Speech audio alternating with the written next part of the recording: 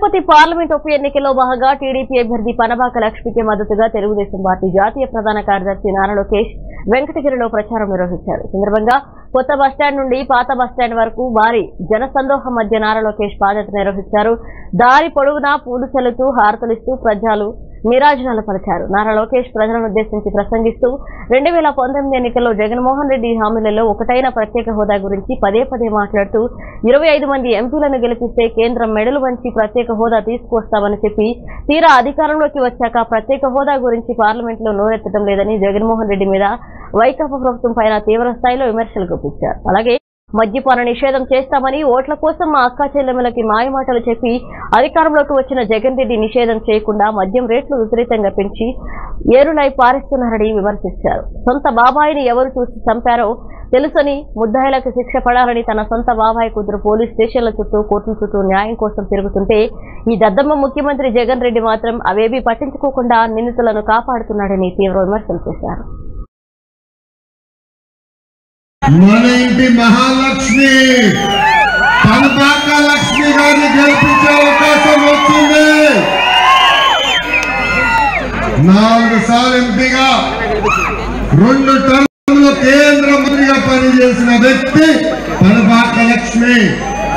అమ్మా మన ఇంటి సమస్యలు ఒక ఆడబిడ్డగా కనపాక లక్ష్మి గారికి తెలుసు. ఈ జగన్ రెడ్డి కనీసం ఆంధ్రులకి ఉద్యోగాలు ఇప్పించే పరిస్థితుల్లో ఆయన లేరు ఏమన్నారా ఏమన్నా ఒక దత్తమ్మ ముఖ్యమంత్రి పిలవాల్సిన బాధ్యత మనందరి పైన ఉంది. నేను ఉన్నాను నేను విన్నాను నేను చూశాను అన్నాడు. అయ్యా జగన్ రెడ్డి ఏమైందయ్యా మా ఉద్యోగాలని? ఈ సభాముఖంగా అలాగే నేను అడుగుతున్నా. ఇక్కడ మా అక్క చెల్లెలు పెద్దమ్మ చిన్నలు ఉన్నారు అమ్మా ఏం చెప్పారు మీకు? నలభై ఐదు సంవత్సరాల వయసు కన్నా ఎక్కువ వాళ్ళకి ఎస్సీ ఎస్టీ బీసీ మైనారిటీ మహిళలకి మూడు వేల రూపాయలు చొప్పున పెన్షన్ ఇస్తాడు వస్తుందమ్మా పెన్షన్? ఎక్కడో ఒక్కరికైనా వచ్చిందా పెన్షన్?